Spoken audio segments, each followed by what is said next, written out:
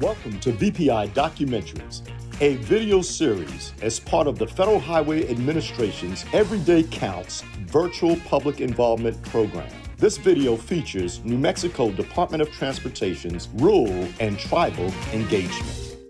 My name is Bill Hutchinson, and I am the manager of the Roadside Environment Group. My name is Jennifer Mullins. I'm the NEPA Public Involvement Lead for New Mexico DOT. New Mexico itself has well, many unique qualities. We have 22 sovereign Indian nations, approximately 11% of our population. We have an additional 9% of the population is our immigrants, perhaps 70% of them from Mexico.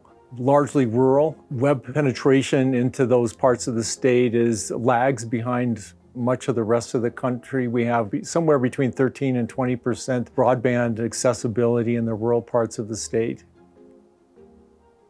Prior to March of 2020, we used traditional methods and typically involved in-person meetings, working groups, printed materials, newspaper advertisements. But when the pandemic hit in March of 2020, suddenly our state was dealing with curfews, restrictions, limitations on gatherings, and we had to quickly adapt to using virtual tools. But we used various platforms for in-person meetings.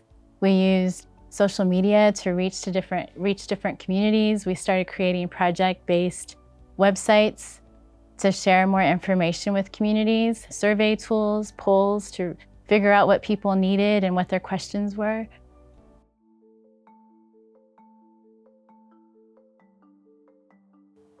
I would say that the traditional techniques are newspaper advertisements. We still have printed materials. We use direct mailers. We'll send out postcards or newsletters to inform the community about what we're doing and at least try to provide more information to entice them to participate in the meetings. We've also continued to print copies of presentations and distribute paper copies where necessary and have those available in central locations. And there have been some exterior face-to-face public meetings with certain folks who are just more comfortable with that setting. And we still, we still provide translation. So we'll do interpretation during the meetings and translate materials.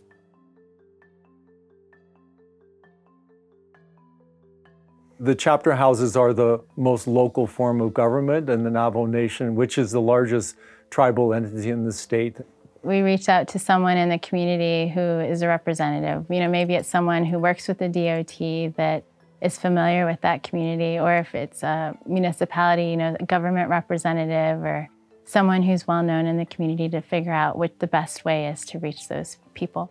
When the COVID pandemic hit, the Navajo Nation president, the Navajo Nation government was using Facebook predominantly to communicate information to the community. And so that's how we decided to start reaching out to people. We would advertise our meeting using the local radio stations, and we would also ask the Navajo Nation to post our meeting on their Facebook accounts as well. Uh, one example is a bridge project that we had in the northwest part of the state. In 2019, we had an in-person meeting where we had dozens of community members who attended. We had the COVID pandemic, which limited our ability to communicate with them. We decided to use a telephone town hall method of communicating, and that allowed representatives from our agency to reach community members using landlines. So we took data from voter registration, and that allowed people to reach us and communicate on their landlines rather than relying on cell phones and computers. We found that we had 119 participants, which was a much bigger number of participants than in the past. And it was sort of held like a radio show. You know, people, we would bring them on live and they would ask their questions and we would have interactive sessions with questions and answers.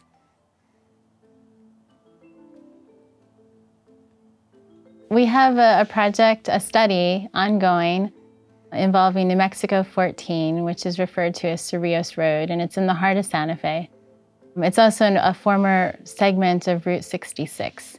It's also home to the Santa Fe Indian School, the Santa Fe Indian Hospital, the School for the Deaf. In order to reach this broad and diverse community, we decided to use a blend of traditional and and virtual tools. And so we use social media posts to advertise and let people know what we were doing.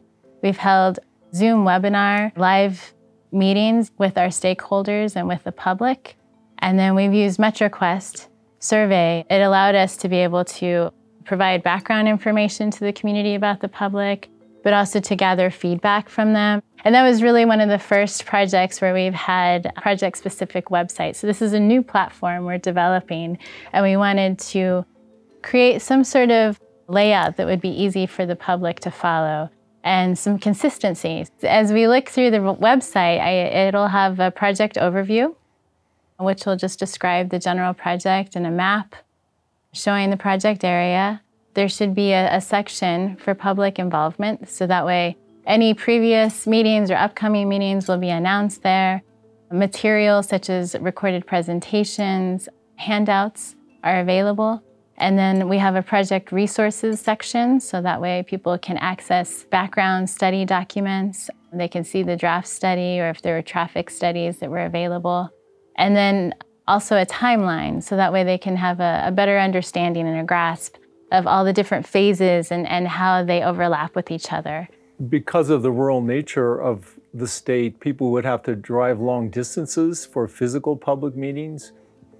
Typically, those meetings would be staged somewhere around six o'clock, something so people getting off work could come to them, maybe in transition. But we're seeing it's far more convenient for many folk just to tune in from their home. And of course, with the website, they can go anytime. If it's an actual structured meeting, we still have it in the evening hours, but they don't have a long drive in front of them to get there.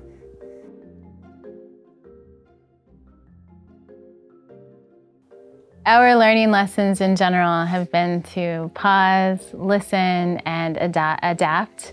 Writing or phone conversations to report, or even letters, uh, providing multiple ways to give feedback is also very important. We've also asked our teams to be innovative and creative. And our goal ultimately is to develop a guidance for the practitioners with, uh, within the DOT, but also the consultants and when we see that something isn't working, then we can make changes along the way.